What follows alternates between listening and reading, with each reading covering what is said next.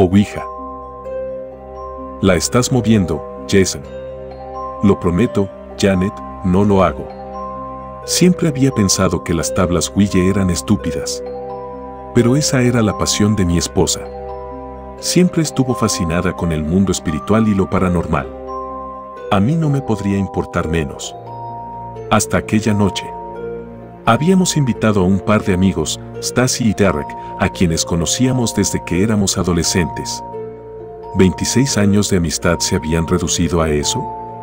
¿A una tabla Ouija? Janet insistió con que jugara con los ojos vendados. Estaba convencida de que yo movía el puntero. Así que accedí. No tenía nada que esconder.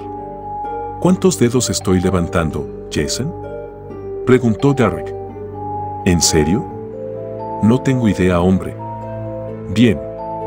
Hagámoslo, anunció mi esposa. Hicimos muchas preguntas y todas fueron recibidas con respuestas simples y breves. Aparentemente, estábamos hablando con una chica de 6 años que fue secuestrada y llevada a esa casa hace 50 años para ser asesinada. Esto da miedo, dijo Janet. Leí sobre ello cuando compramos la casa.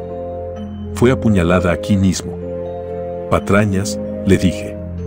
Es verdad. La he visto Jason. La vi rondando por los pasillos hace un par de noches. No fue ninguno de los niños, porque revisé y ambos estaban dormidos. Eso es aterrador, concordó Stacy. Ni loca seguiría viviendo aquí después de algo como eso. No puedo evitarlo. Amo esta casa. Explicó mi esposa entusiasmadamente.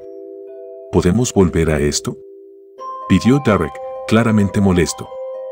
Preguntamos cosas como, ¿estás aquí ahora y eres buena o mala? Pero la respuesta a la última pregunta nos inquietó a todos.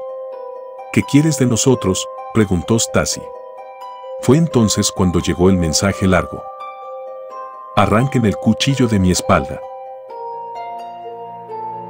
Me saqué la venda rápidamente.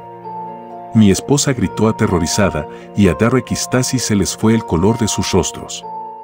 Mierda. Esta cosa no tiene buenas intenciones. Pero fuiste tú la que quiso que jugáramos. No me importa, Jason. Chilló. Sácala de aquí. Y lo hice, pero no sin antes partir la tabla en cuatro pedazos. La tiré en el basurero de afuera, nos despedimos de Stacy y Derek y nos fuimos a la cama. Me desperté a la mañana siguiente ante más gritos de mi esposa. Jason. El espíritu sigue aquí. Me refregué los ojos y me senté en la cama. ¿De qué estás hablando? Me agarró del brazo y me arrastró hacia afuera, al pórtico. Mira. Y ahí estaba, la tabla Ouija de la noche anterior, recostada en el pórtico y reensamblada. Mi esposa sacudió sus brazos por el aire dramáticamente. Ya no me quiero quedar aquí. Voy a llamar a mis padres y nos quedaremos con ellos hasta que encontremos otra casa. Y fue así como nos mudamos. Al final, encontramos otra casa, una con más espacio y garaje incluido, en donde podía poner mis herramientas. Mucho mejor. Han pasado 20 años, y nunca le conté a mi esposa que podía ver a través de la venda o que reemplacé la tabla y dejé la nueva en el pórtico. Nunca quise comprar aquella casa.